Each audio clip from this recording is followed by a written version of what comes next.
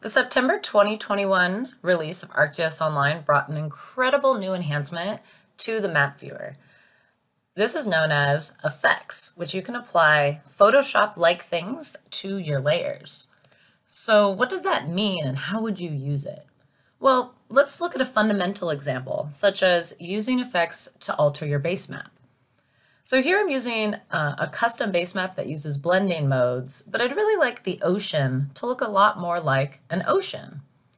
So I know that there's a base map that's called the mid-century map. And what I like about this base map is the fact that it's got these wavy lines in the ocean that help me see that it's an ocean. However, this does not work with the cartography on my map, as you can clearly see. However, I can use layer effects on that layer, on this uh, base map layer, to change the look and feel of it. So over here on the right, you'll notice this lovely little button that says effects, and it's got a nice little star pattern. If you click on that, it brings you to the di various different effects. Now you can turn these all on and off to try them out. For example, if I wanted to first start by making this grayscale, I can simply toggle that on and play with the strength of the settings. In this case, I'd probably want 100. But this is still not really working with my layer. So how could I turn this or invert this to have a darker base map? Well, let's give it a shot. Right away, we now have that squiggly effect in the ocean, but we also now have an inverted version of that grayscale that we had before. So automatically, this map is already starting to look a little better. Now there's a lot of other options like hue rotate and sepia that could also alter a base map and customize it in lots of different ways. Now let's see how you can use effects on operational layers, such as this layer of bus stops in the Los Angeles area. So by default, I already see my pattern, but there's a lot of dots on this map, and I'd really like to help emphasize those dots on the map. One effect that can be used is the drop shadow. Now, drop shadow is one of my favorites because it really just does exactly like the name says, creates a drop shadow. But what's cool is that you can customize it in lots of different ways. You can make the width of that drop shadow wider or smaller. I'm gonna go with this this width. You can also change how the offset looks. You can change which side it appears on or if it's above or below. You can even change how much it even shows up with the opacity.